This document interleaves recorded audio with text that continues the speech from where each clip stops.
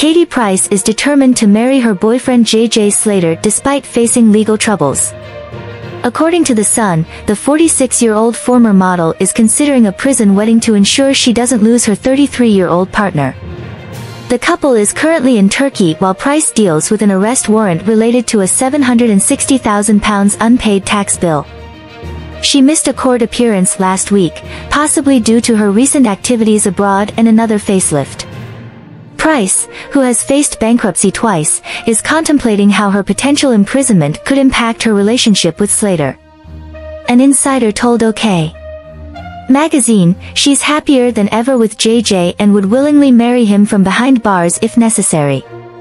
She wouldn't want to lose him due to her legal issues, so she's prepared to make it official even if it's not the wedding she envisioned.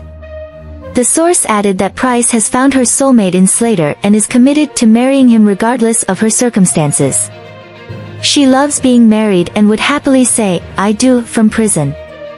Everything happening right now has made her realize what's truly important, and JJ is a big part of that.